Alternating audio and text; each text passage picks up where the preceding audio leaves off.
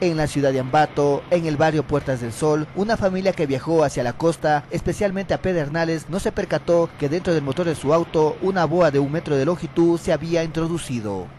Que el señor ha estado poniendo agua, agua en el radiador, la boa se ha saltado. Entonces, al, a, del susto, se ha caído el capó. Al parecer, el animal buscaba una zona caliente, por esta razón eligió el motor del vehículo. Las autoridades del medio ambiente acudieron al lugar para llevarse a la boa. Es una boa bebé, asimismo no es tan peligrosa, no, pero para un, para un niño de unos 3, 4 años puede estrangular y matar. El animal se encontraba en proceso de cambio de piel. Por sus características, es una boa constricto costeña. Hasta el momento su comportamiento es agresivo, pero se está buscando el lugar adecuado para que pueda volver a su hábitat.